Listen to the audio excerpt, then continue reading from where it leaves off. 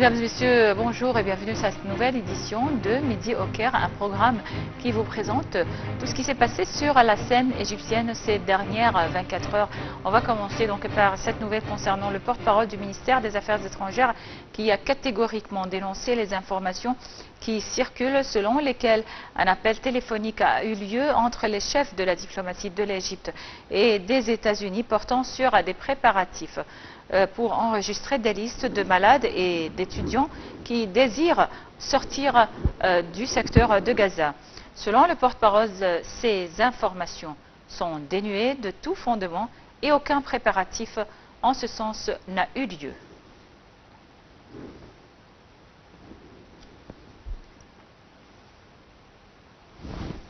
Les forces de l'occupation israélienne ont pilonné euh, ce matin la bande de Gaza à l'heure où son premier ministre Benjamin Netanyahu évoque la fin de la phase intense des combats avec le Hamas palestinien et où les craintes d'une nouvelle escalade avec le Hezbollah libanais euh, vont croissant. Les détails dans ce commentaire signé Marwa Arafa et Shahinaz Ismail.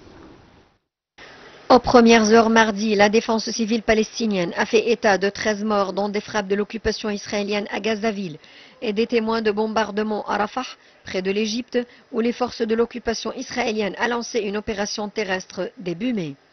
À Washington, le chef de la diplomatie américaine, Anthony Blinken, a souligné l'importance d'éviter une nouvelle escalade du conflit et de parvenir à une solution diplomatique qui permette aux familles de rentrer chez elles. C'est ce qu'a indiqué le porte-parole du département d'État, Matthew Miller. Depuis plus d'une semaine, les manifestations se multiplient pour exiger le retour des otages toujours détenus à Gaza et la tenue d'élections anticipées dans la foulée de la démission de deux teneurs du cabinet de guerre qui exigeait du Premier ministre un plan concret pour l'après-guerre à Gaza. Un plan présenté fin mai par le président américain Joe Biden, proposé selon lui par Israël, prévoit un cessez-le-feu de six semaines, accompagné d'un retrait israélien des zones densément peuplées de Gaza, de la libération de certains otages et de prisonniers palestiniens détenus par Israël. Lundi au Parlement, M. Netanyahu a assuré être attaché à la proposition israélienne que le président Biden a approuvée. Notre position n'a pas changé. Mais au-delà d'une éventuelle trêve de quelques semaines, les divergences semblent toujours poindre entre Israël et les États-Unis sur l'après-guerre à Gaza.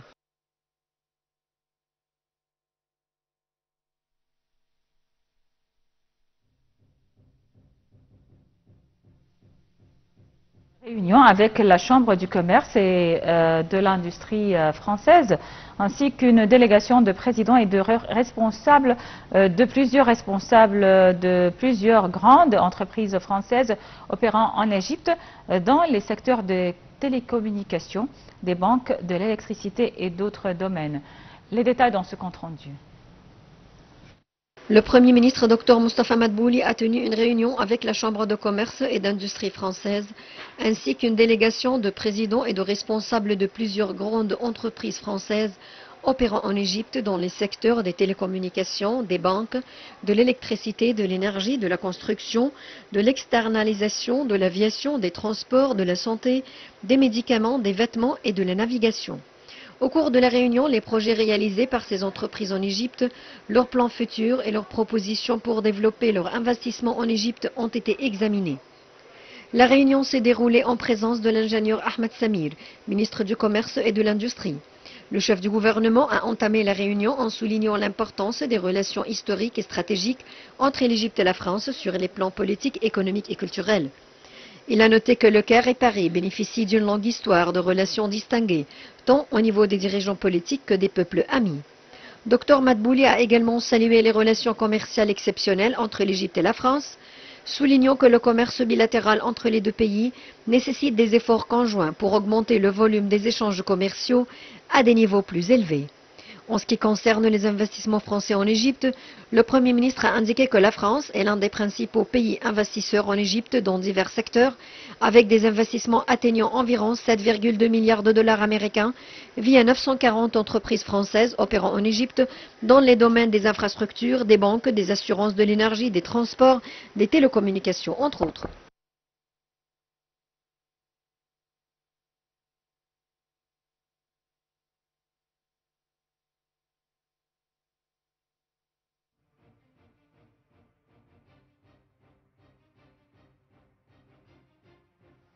Pour parler de ce sujet, on a en ligne Dr Mustafa Tammem, qui est expert en économie. Bonjour, monsieur.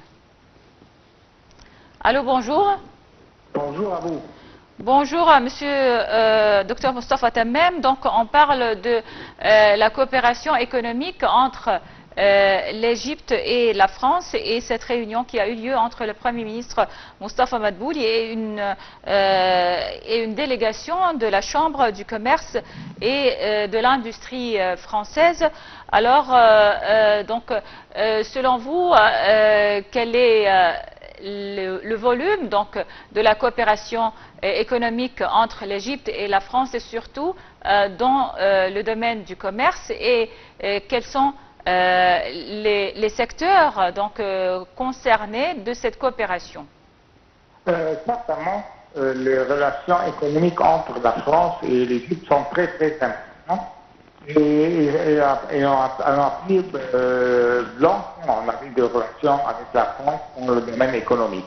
Mhm. certainement, peut-être les secteurs plus importants seraient le secteur industriel et le secteur d'agriculture. Parce que l'État donne beaucoup de pouvoir et beaucoup d'importance pour ces deux secteurs-là. Et aussi euh, dans le domaine touristique, euh, certainement, euh, l'Égypte va avoir des programmes pour attraper les touristes français ici en Égypte. de l'autre côté aussi, cette coopération donne un message à la communauté européenne que l'Égypte est stable et peut-être peut attraper beaucoup des investisseurs dans beaucoup de domaines. Mhm. Euh, donc, quels sont les, domaines de coopération euh, ou d'échange commercial entre euh, l'Égypte et la France? Est-ce que vous avez des chiffres donc, concernant le commerce? Malheureusement, je n'ai pas de chiffres, mais moi je pense que ce n'est pas seulement dans le domaine du commerce, comme je vous ai dit. Euh, mm. L'Égypte donne beaucoup d'importance pour le domaine industriel et le domaine agriculture. Et la France a beaucoup d'expérience dans ce domaine-là. Mm-hmm. Certainement, euh, cette expérience euh, au futur pourrait être transférée à les pays africains. Ici, que l'Égypte joue un, un, rôle très important entre les pays africains et peut-être le monde entier. Oui, bien sûr. Alors, euh, docteur Moustapha Tammem, expert en économie, merci beaucoup et passez une excellente journée. On enchaîne donc avec euh, cette nouvelle concernant le ministre des Finances, Mohamed Maït, qui a affirmé que les services de paiement en ligne avaient totalisé 2,5 trillions de livres dans les 11 premiers mois de l'exercice euh, financier actuel contre 2,1 trillions de livres pendant la même période l'an dernier. Le taux de croissance du versement en ligne des salaires des fonctionnaires est de 24% pour 299,4 milliards de livres égyptiennes contre 242,2 milliards de livres égyptiennes euh, euh, pendant la même période l'an dernier, euh, a-t-il fait savoir dans un communiqué?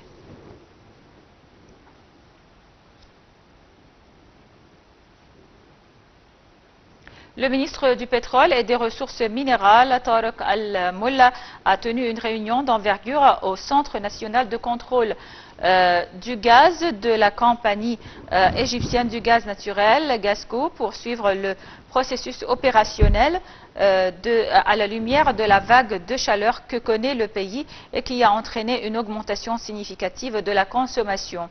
Au cours de la réunion, les différents scénarios ont été examinés à la lumière de la canicule pour y faire face, selon un communiqué de presse du ministère.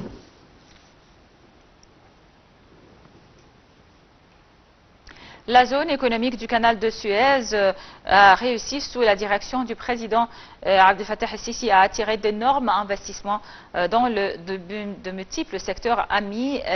les projets de carburant vert représentant une partie importante et figurent parmi ses principales priorités pour mettre en œuvre la vision 2030 de l'Égypte.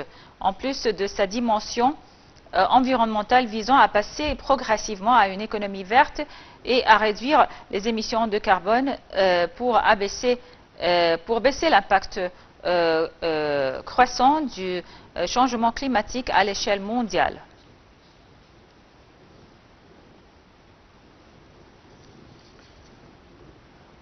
Le ministre de l'Agriculture et de la bonification des terres euh, l'ingénieur Al-Saïd Al-Qusir a affirmé que l'initiative présidentielle visant à planter 100 euh, millions d'arbres lancée par le président Abdel Fattah al-Sisi s'inscrit euh, dans le cadre des efforts déployés par l'Égypte pour faire face et, s'adapter aux effets négatifs de changement climatique, ainsi que pour résoudre les problèmes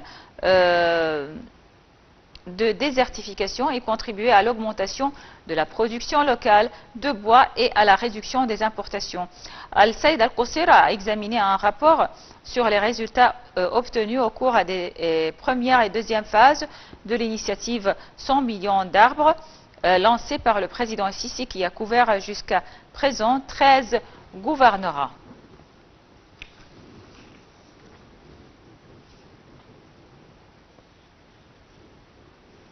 Bon voilà, c'était donc tout pour euh, cette édition de Midi au Caire. Merci pour votre attention. Restez sur NAL TV pour euh, la suite de nos programmes en langue française qui se poursuivent jusqu'à 13h heure locale du Caire. Bonne suite de programmes sur NAL TV International.